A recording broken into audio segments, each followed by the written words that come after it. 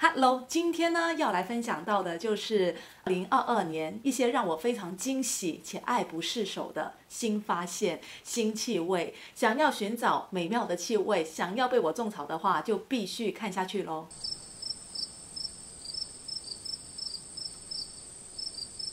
如果你是第一次来到这个频道的话，欢迎你，我是 Chloe，这是一个专注香水、香氛蜡烛，所有与香气类产品有关的频道。如果你和我一样，也是一个香气的爱好者，那就记得要订阅我的频道，并打开小铃铛，就不会错过我每周两次的更新喽。那二零二二年呢，我依然非常勤劳的、持续的更新我的频道。那在这一年当中呢，无论是我买到的香水，我试到的香水，也是有非常的多。那一年下来呢？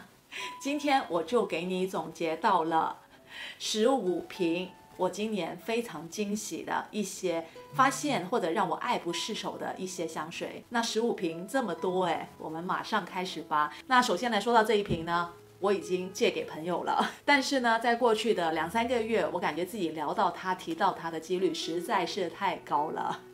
大家想到是哪一瓶了吗？我相信今天的影片你们也能猜到。一定有它的存在吧？说的呢就是 Acro 他们家的 Awake 这瓶香水啦。那 Acro 他们家的这一瓶 Awake 以咖啡为主题的香水呢，真的在我第一次闻到的时候，已经是深得我心。还是得不厌其烦的再说一遍，就我觉得市场上有很多就是以咖啡为主题的香水，在我们去购买到或者在我们闻到以后啊，咖啡真的是。配角，甚至是十八线的小配角，或者是你闻的时候，你会觉得哦，有那么一点点吧，但可能半个小时什么的也已经完全消失不见了。但是咖啡在 Awake 这瓶香水里面呢，它是从头到尾无可置疑的 C 位。就如果你是钟爱咖啡的香气，这瓶是我觉得你不可不尝试的一瓶。那 Awake 这瓶香水的气味呢，简单的让我去总结，就是它从刚刚开始的这一个拿铁的咖啡香，一个稍稍带有奶泡感、奶味的拿铁的气味，慢慢随着你穿上的时间越久呢，它就会变成了一杯榛子拿铁，里面的榛子果仁还有甜度都会稍稍的上来。但是请放心，它的甜度绝对不会过高，而咖啡依然是主角。那在你喷上这瓶香水呢，无论是早上来作为一个提神醒脑的。气味，还是说，当你怀念 coffee shop 的气味，把它喷上，就能瞬间把你带到了，或者在你身边营造了一个 coffee shop 的氛围。所以，对于咖啡的爱好者，咖啡香气的爱好者，这瓶香水呢，我相信也绝对会让你喜欢的啦。而 Acro 呃，我这瓶香水呢，除了香味以外，我觉得另一个。呃，小亮点吧，也可以说是作为一个小众的沙龙香来说，它的价格性价比方面，我觉得还是非常不错的。尽管你是刚刚开始想要尝试美食调香水呀，沙龙香，Acro 这瓶 Awake 呢，都应该会是一个很好的选择啦。好，接着就来说到两瓶2022年我在设计师的香水当中发现的两支让我爱不释手，而且买回来以后呢，我也。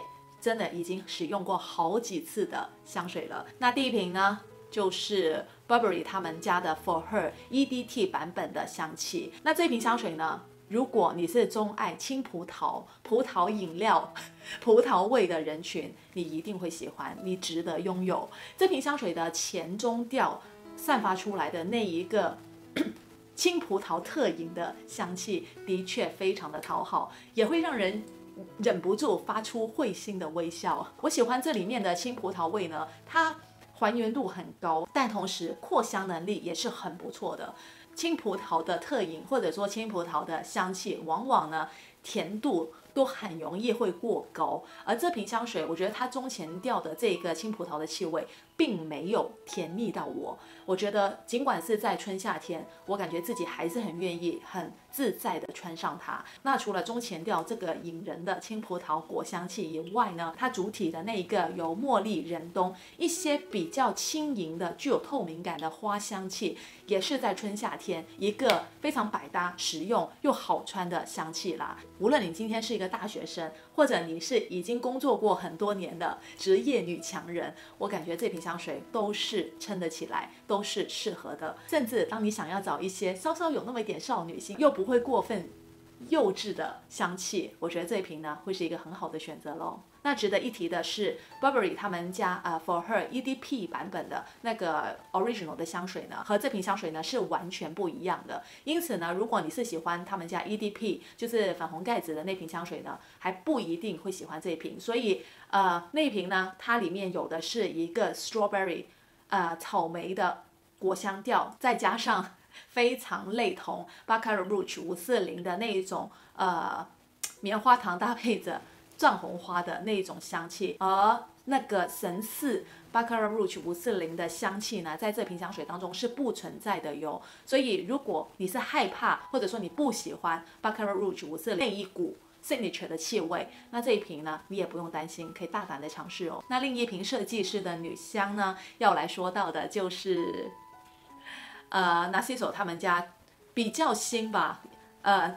二零二二年全新的这一款呃 Neoli Amber 的气味，那 Narciso 他们家小方瓶系列呢，我觉得好几款都是很不错闻的。要说我最喜欢的呢，可能还得是白瓶的小方瓶，但是一直都有听说白色的小胖子呢可能要停产。那除了白色的小方瓶以外呢，我感觉这一瓶绝对是这个系列当中我心中的第二名。作为一瓶 Narciso 他们家的香水呢。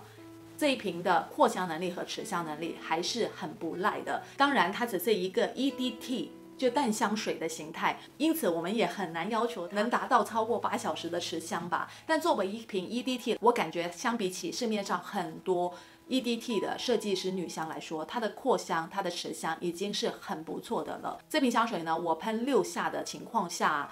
一个半小时，伸手的距离边都清晰的可以闻到。那整瓶香水的持香能力呢，在我的身上也可以稳稳的到六个小时。那如果喷到衣物啊、头发上面的话，我感觉七小时也是没有问题的。它是一个既温柔，同时又有着一点点热带风情感的一个香气。里面的一个热带的那种度假的风情感呢，主要是来自。香水当中的鸡蛋花、尼奥里橙花的香气。那整瓶香水除了橙花、除了鸡蛋花以外呢，它还利用了尼奥里橙花油，一抹稍稍带有绿意感的、呃青涩感的花朵，让整瓶香水的花香气不会变得过分的粉。也不会变得很娇艳，反而多了一点年轻的活力。那花香无疑是整瓶香水的一个最主要的香味，香水的。但是整瓶香水由此至终，你依然能闻到那 a r 他们家签名式的这一个温柔知性感的麝香，把这些花香气很好的包裹着，也在你喷上这瓶香水的时候，用香气，用这一个花香的气味。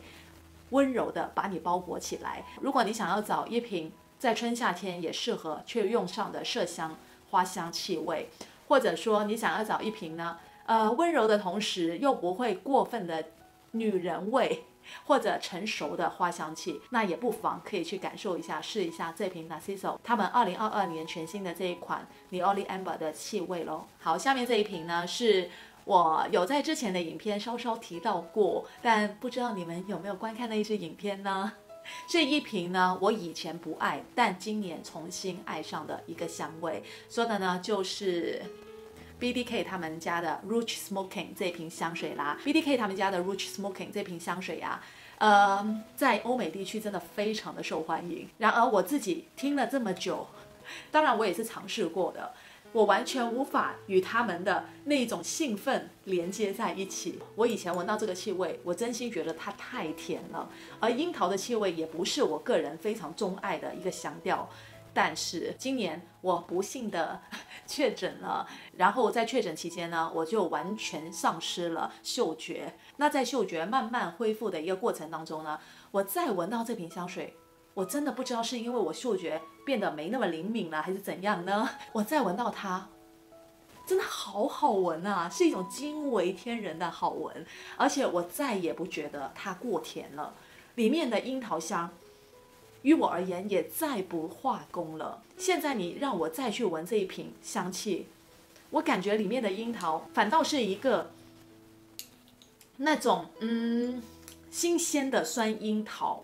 再搭配着粉粉的杏仁香，再结合着那一个又能散发着气质感与一种舒心感的一个 vanilla 香草的气味。而我觉得整瓶香水刚才聊到的这一些所有的结合在一起，似乎是很容易会变成一个呃稍稍有那么一点廉价化工，甚至幼稚的气味。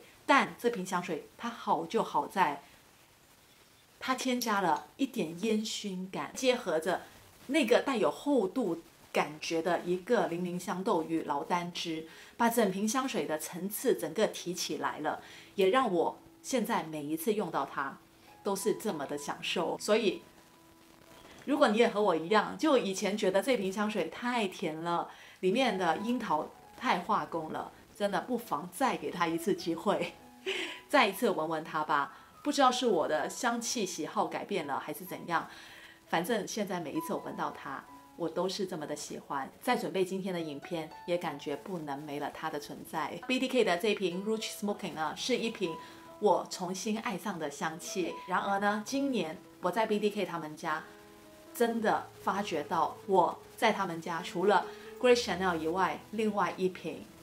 非常非常爱，也是我觉得我用完以后我一定会回购的一瓶香水。说的呢就是他们家的 t a b a c Rose 这一瓶烟草玫瑰香啦。这瓶香水呢我也已经出了详细的香评影片了，在影片当中我也已经表达到我对它的爱。那对于一个钟爱烟草香的人来说呢，我在听到这瓶香水的时候，我已经非常的期待。然而在闻到这瓶香水的时候，我不得不说，它完全没让我失望的同时，甚至有给到我更多的小惊喜。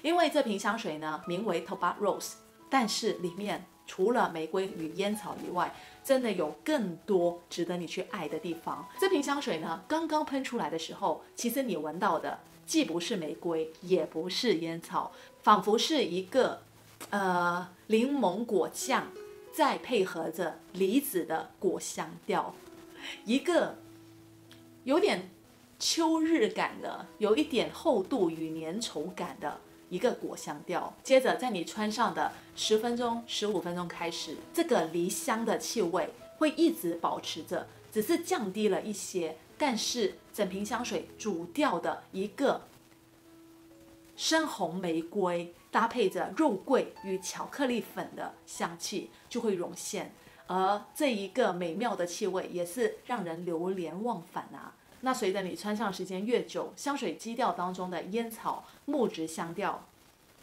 广阔香、劳丹脂这一些。也是为整瓶香水画上了完美的句号。就真的这瓶香水的前中后韵，穿上它的每一分钟，我都是这么的享受。我感觉它是一款呢，呃，大众接受度蛮高的同时，自带它的性格，同时在香水的一个呃扩香留香方面的表现力也很不错的一个气味。在你体验这瓶香水的时候，你也能体验到了那一种精致的法国香水的。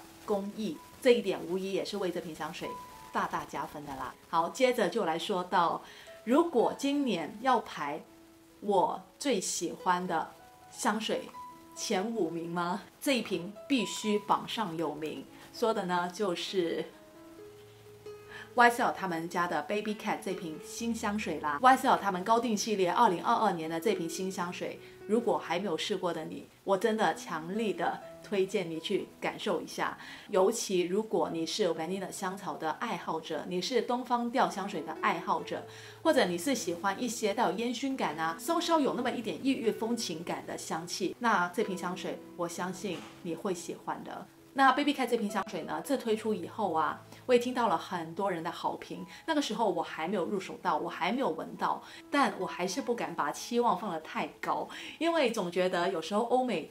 的博主他们会喜欢的一些香气，我们还真的不一定会喜欢。但是这一瓶能那么受欢迎，我觉得真的很有道理。尤其在未来的秋冬天，我觉得这一瓶我都一定会想到把它拿出来用起来。Baby Can 呢是一瓶呃带有辛辣感的一个东方调气味。呃，香水刚刚开出的时候，你最明确能闻到的其实是一个呃那些香脂。再配合着辣辣的一个东方新香料的那一种香气的组合。整个香水你一闻到的时候，你已经能闻到它是一个比较深邃的、有厚度的一个香气。接着呢，香水里面的藏红花还有那一个乳香的气味就会大量的涌现，而在这里，乳香的气味真的非常的迷人，也是为整瓶香水大加分的。而如果只停留在这一个部分呢，可能对于很多人来说，由藏红花创造出来那么一点带有动物性的皮革感，还有那种新香料那一种呃乳香香脂的气味，可能会变得过分的异域感或者男性化。但是放心，调香师添加了大量的 vanilla 香草，而且是一个稍稍带有烟熏感的 vanilla 香草，完全把这瓶香水变成了一个。无性别，而且在更多的时间场合都能被好好利用起来的性感又魅惑的气味。整瓶香水里面的甜度、辛辣感、烟熏感，甚至动物性各个方面，它都没有过多导致到别人难以接受，反而是每一点都很克制、平衡的很好，让我每一次穿上它所得到的那一种温暖感，那一种。自信感得以提升，也因此呢，这瓶香水必须出现在今天的影片。我甚至会说，它也一跃成为了在 YSL 他们家高定系列当中我最最推荐也最喜欢的一瓶香气。好，下面就来说到两个我感觉值得更多爱的沙龙香品牌。第一个说到的呢，就是 Kerosene 啊。那说到 Kerosene 呢，如果嗯要说到今年。他们家的新香水呢，那就必须说到他们的 Followed 那一瓶以咖啡香为主题的香水啦。但是，一方面我觉得今天已经聊到了 Acro 他们家的 Awake，二方面呢是，其实 Kerosene 他们家 Followed 那瓶香水呢，之前我才刚刚出了全新的香瓶影片。那如果你想了解更多他们二零二二年全新的那一瓶 Followed 的香水，这一瓶扩香持香完全没话说。完全是野兽级别的巧克力咖啡的香气，那请去关注我之前刚出的香品影片啦。而今天呢，我倒是想要选到了他们家这一瓶名为 Copper Sky 的香气。呃，这瓶呢不是他们家的新香，这瓶呢也绝对不适合你盲买，请不要盲买这瓶香水。更准确的说呢，我觉得 Kerosene 他们家的香水啊，扩香持香真的都非常的强。持香啊，十五个小时都是稳稳的，而且他们家很多的香气都是有那么一点点挑人，且很丰富，甚至有一点猎奇的，所以真的不是一个适合你盲买的品牌。那他们家的 Copper Sky 这瓶香水呢，更是不适合你盲买。然而我选到它，我会钟爱它，我是特别想要推荐给你钟爱药香气的人群。而这里面所说的药香气，可不是那个淡淡的呃中草药啊，或者说呃药柜子里面的那种药香气，或者那种安神的淡淡的药材味。这里的药香气，它是气势磅礴的，它是让你闻着它就会不自觉的暖起来，甚至有一种热热烧起来感觉的一个浓郁的药材。搭配着药酒的那种药香气，这瓶香水非常的苦。这瓶香水也会带着红花油或者那种呃铁打损伤的时候会用的那种药油的酒香味。我觉得它的香气是非常独特的，我觉得它的香气也是非常挑人的。那你问我有什么场合会想到用到它呢？可能还真的不多，但是。整个香水的一个调香，整瓶香水给到我的一个气味的感受，或者说里面的药感、药酒的那一个香气的冲击力，真的让我非常的难忘。因此，虽然它是一个非常挑人，呃，也在日常生活当中不是这么的实用的一个气味，我依然想要放在今天的影片。那如果你也是这个类型香气的爱好者，你感觉市场上其他药香气的香水都不够强劲，给你的冲击力不够厉害，或者说持香扩香不够强的话，那么他们家的 Copper Sky 你真的要尝试一下，应该会让你惊艳到哦。既然说到了一个不适合你盲买的沙龙香品牌，那这个品牌呢也是其中一个，说的就是 Soologist 他们家的香水啦。Soologist 他们家香水呢，每一次我提到，我都会跟你们说不要盲买，请先试香。那他们家甚至有一些香水呢，啊，我感觉是创造力或者欣赏性这一些方面会多于实穿性的。然而今年呢，让我闻到了，入手到了他们家犀牛这瓶香水，真的有让我惊艳到。本来我对这瓶香水啊，就在看香材表啊等等的时候，完全不感冒。就我是试过 s o r g i s 他们家很多香水的人，但是我一直都没有太大的兴趣想要试这一瓶。但后来我就想要把所有都试一遍，未来可能想要拍合集嘛，试到这一瓶，我真的没想到。它会让我这么的喜欢这瓶呢，也可以说是一个带有药感气味的香水。然而这里的药感和刚才的 Kerosene 就完全不一样了。这里的药感就是那种让人安神的，呃，像是中草药的草本感觉，甚至一点点凉茶感的那一种药香味。那除了松树、鼠尾草、薰衣草这一些组合而成的一个草本的药味、苦味以外呢？你还能闻到了艾蒿、黑茶的茶叶、新鲜烟草的气味。这瓶香水在我眼中呢，是一个比较不同寻常的木质调，也可以说是一个比较不同寻常的绿色调香水。就这里的绿，它不是那种翠绿颜色，也不是那种墨绿颜色，它是那种深绿到已经发黑的。整瓶香水真的会像是它香水瓶里面的。液体那种色调，黄黄的、绿绿的，又有一点点混浊的感觉。在我心中呢，它是一个无性别的香水，但可能对于部分的女生来说，有那么一点点过分的男性化吧。每一次喷上它，都让我有一种与众不同的感觉。每一次穿上它，里面的草药味都让我有一种出世的感觉。但同时呢，香水基调当中那浓浓的烟草味，又会让我感觉它是一瓶很入世的香味。就这种矛盾感，其实是蛮美的。所以，如果你也对 s o l o g i s 他们家香水感兴趣，或者正想要尝试更多 s o l o g i s 他们家的香水呢，犀牛这一瓶也是一个很值得你去发掘的气味喽。好，接下来这一个呢，是我近期也收到了好几个信息，想要我分享的品牌，那不就来了吗？这瓶香水呢，今年在我的影片当中还没出现过，但今天必须给它一个出镜的机会。说的呢就是 C H d o n 他们家的这一款叫做 Medley。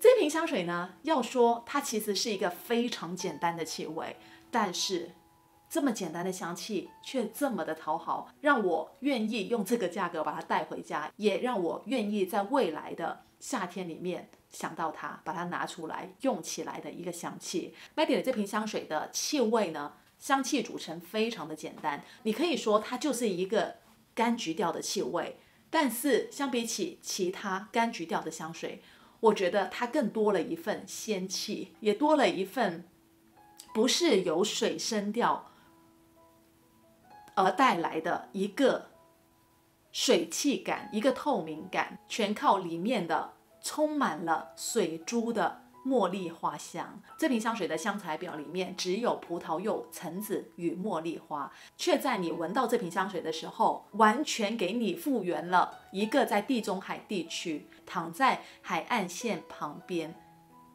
所闻到的、体验到的氛围感一模一样。就在你刚刚喷上这瓶香水的时候啊，你真的会莫名的闻到了一个非常淡的。呃，海风、海盐的气味，但它完全不会带有那种水生啊或者海洋调，就是那么一点点的盐，一点点的咸味，结合着这个柑橘调，这一个仿佛是还原到地中海地区柑橘树、柑橘树上面的果实带来的那一抹充满了活力与清新感的柑橘调。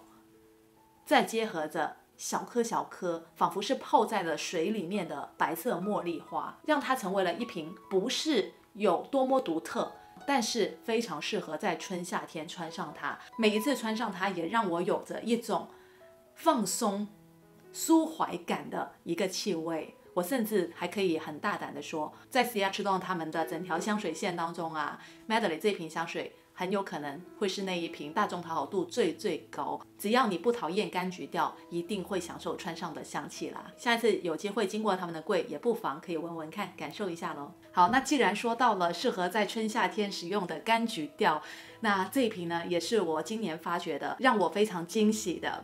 嗯，也可以说是柑橘调，也可以说是果香气为主打的香水吧。说的呢就是 Joe Loves 他们家的这一个呃 Mango Thai Lime 的这一个香气啦。我手上这瓶香水呢，我只是用过一次，但其实这个气味呢，我已经用过不下五次了，因为我已经用掉了三个试香了。那 Jo Loves 这个品牌呢，我记得年头的时候我也说过，今年想要多多尝试他们家的香水嘛，那定了一些试香。当中呢，他们也特别多付了两个这一个气味的试香给我，可能也是因为这个气味在他们家非常受欢迎吧。那顾名思义的，这瓶香水当然就是以青柠与芒果作为香水的主题啦。那不得不说，这瓶香水在你闻到的时候呢，这两样东西都绝对是主角。整瓶香水呢也是非常的点题，闻着它真的就是忍不住会会心微笑啊。尤其如果你是钟爱芒果的气味，我觉得这一瓶呢也是其中一瓶你一定要去尝试的香气吧。我自己个人呢对于芒果的气味最大的要求就是不能过甜。然而在这一瓶里面。当芒果配合青柠的酸涩感，让这瓶香水的甜度于我而言真的就是刚刚好。这瓶香水啊，在你刚刚穿上的二十分钟左右，青柠檬的酸涩感是最强烈的，整瓶香水的酸涩感也是在这个阶段最强烈的。青柠檬的那种酸涩感、清新感，真的会让你的。口腔都充满了唾液，也会让你有一种精神一振的感觉。接着，香水里面的芒果香是一股青芒果的芒果香就会涌现。这个时候，它会让我马上想到了泰国，让我想到了在泰国旅游的愉悦感。随着你穿上的时间越久呢，里面的青芒果就会渐渐变得更成熟一点。凉凉的薄荷，呃，黄色的芒果，呃，百香果，还有。一个我觉得在啊香材表里面没写，但我自己会感受到的一个仿佛是 lemongrass 马鞭草一样的气味，里面的每一个香材，每一个气味都让人仿佛置身在泰国一样，想到了他们美味的食物，想到了他们让人放松的 spa 那种度假感。那种夏日的感觉，谁会不享受呢？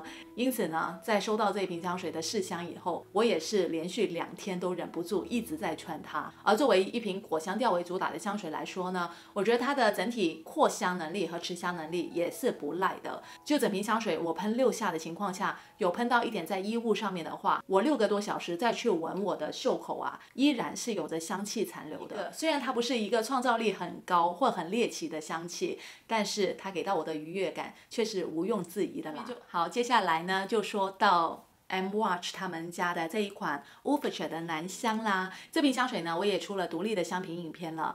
这瓶香水呢，也是一瓶我一闻爱上的气味。是一瓶呢，你们给我种草，让我一定要去尝试的气味。虽然在啊独立的香品影片里面呢，我也收到了很多的留言，跟我说让我一定要去闻闻看他们家 o f f i c e 的女香。虽然我到现在还没有机会闻到呢，但我会的，放心，我一定会的。我看了一下女香的介绍，我感觉自己应该也会蛮享受的吧。那说回我当时在买的时候呢，也只有 o f f i c e 的这瓶男香。那这瓶男香呢，我觉得。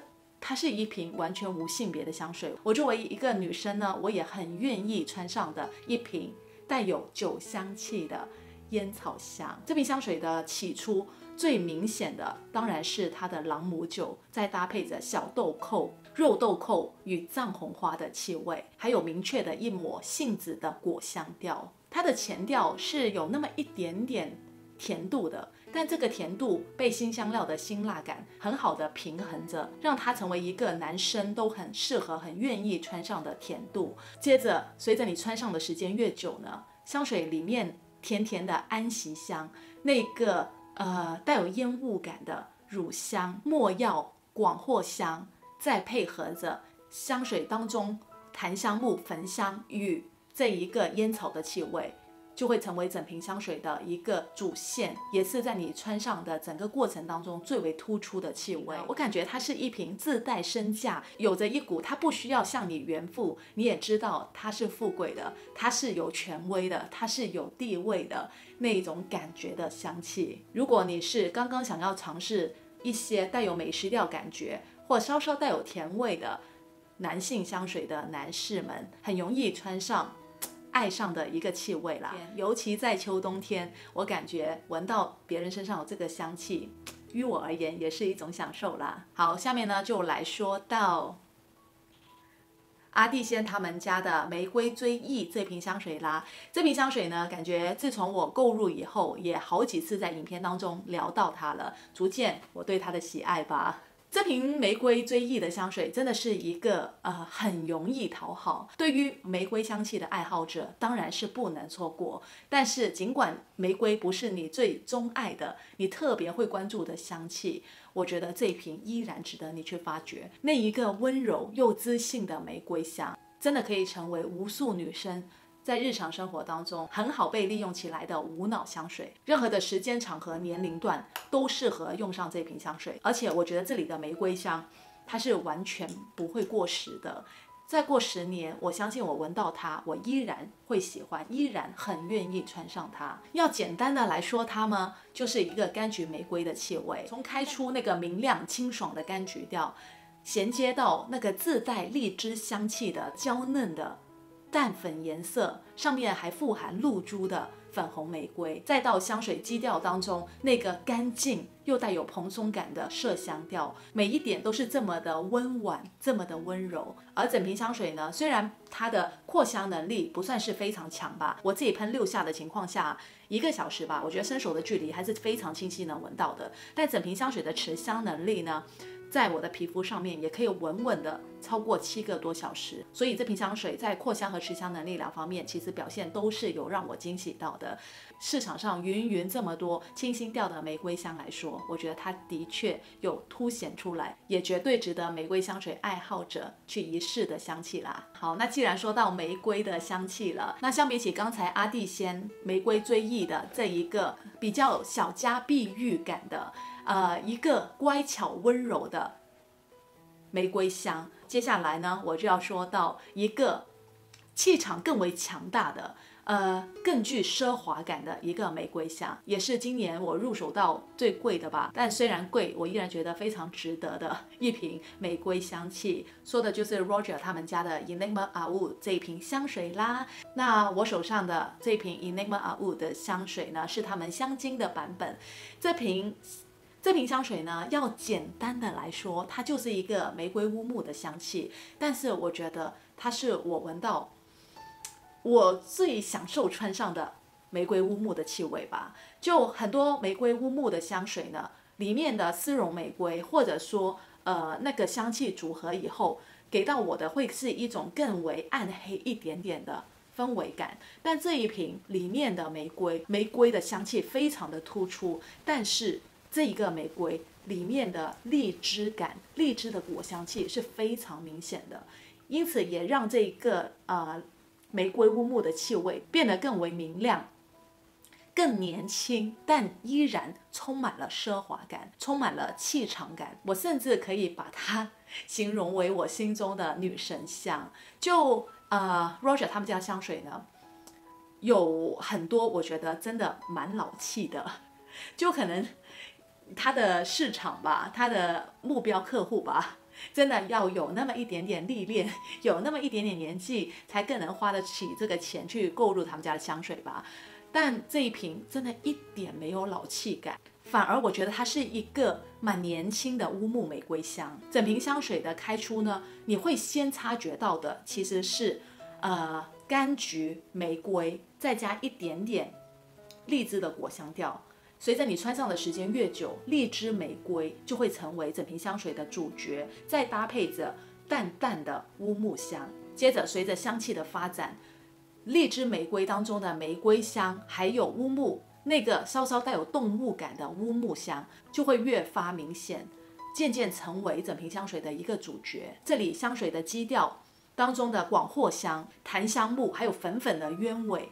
这一些也是随着你穿的时间越久，慢慢才会涌现出来的。我感觉这里面粉粉的调调。它不会带有那种脂粉味，反倒你能闻到的更多是来自木质感的那种粉调。它甚至是一瓶在春夏天，尽管气温稍稍高那么一点点的情况下，就夜晚去约会的时候，我依然能穿上的一个乌木玫瑰香。那我虽然不是一个很追求、很钟爱乌木玫瑰香的人群，但是这瓶乌木玫瑰香的确有惊艳到我，也是让我在闻到以后呢。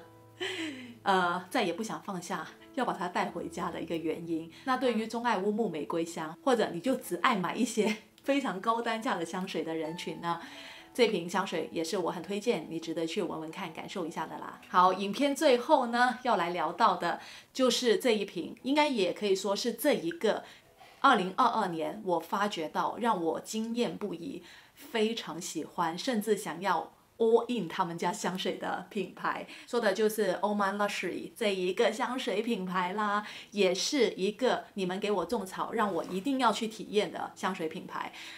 用了以后，只能说真的太喜欢了。那他们家我试到的好几瓶香水，我都非常的喜欢。那今天呢，我就只选到我手上这一瓶吧，也是一瓶呢，我。越闻越上瘾的一个气味，呃，Wood Aqualaria 的这个香气。那这瓶香水呢，有了解过的话，也是很多人说它很像另外一瓶我很喜欢的 f a d r m o 他们家 Promise 的那瓶香水。那像不像呢？那我觉得这两瓶香水呢，首先是来自同一个调香师嘛，再来呢，就是这两瓶香水呢，的确有着很多共通之处，一样的地方，但这两瓶香水呢，又有着。一定的不同，就我觉得，呃，尤其是在香水刚刚开出的时候，真的蛮像的。那个苹果、粉红胡椒和呃玫瑰的组合，那个香气的确是蛮像的。但是随着你穿上的时间越久，就是 Fashion World 呃 Promise 那瓶香水呢，它的药感要比这瓶香水来的强烈很多，呃，那种强势的。磅礴的感觉也要比这一瓶来的强很多。那相比起呃 f a t r m o 他们家的 Promise 那瓶香水，我觉得呃 Oman Luxury 他们家的 Wood Aqualaria 这瓶香水呢是要更实穿的、更易穿的。这瓶香水的中后韵，它的药感降低了，取而代之的更多是一种乌木与烟熏的感觉，一个粉粉的劳丹脂，一个呃烟雾飘渺的。烟熏感，而我觉得香水里面添加到那一个淡淡绿意感的鼠尾草，也是很好的把这瓶香水里面厚重的药感所平和掉的一个主要的原因。所以，如果你之前有被我种草到 f a t r m o 他们家 Promise 那瓶香水，你有去闻过以后，你觉得自己有那么一点点难驾驭，但香气的形态上面你是享受的，那我觉得 o m a Luxury 他们家的。这一瓶 Wood Aqualaria 可能会更适合你哦。同时呢，我觉得它也是一瓶别出心裁的乌木香。o m a Luxury 整个品牌呢，更是一个我觉得性价比非常高，在香水的香气独特性。啊，扩香能力、持香能力各个方面都让我非常满意的一个品牌。在二零二三年呢，相信你们也会陆陆续续的听到我、看到我来聊到更多他们家的香水。好，一口气呢就给你分享到了二零二二年我发掘到的、用到的。